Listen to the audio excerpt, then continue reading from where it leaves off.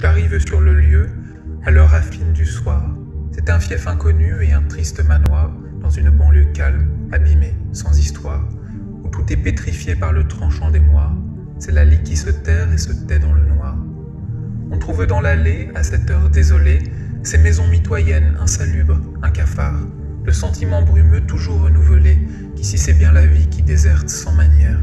Me voilà enfin seul, dans les souvenirs de pierre, de cette masure molle qui s'affaisse et s'enterre sur ses fondations propres, rongées par la matière, avariée et putride, expurgée par les corps. Il arrive que l'on soit confronté par hasard à cet étrange étroit, cet ailleurs, ce décor, qui semblait familier dans la forme du phare, mais qui de l'intérieur nous dérange et déroge. Une toile et ses flèches, fixité de l'horloge, la configuration d'une carte des doges, une Bible qui dort, droit de présider au destin de l'étage d'une bibliothèque qui chancelle sur les pages, et le poids de ces mots compilés en adage.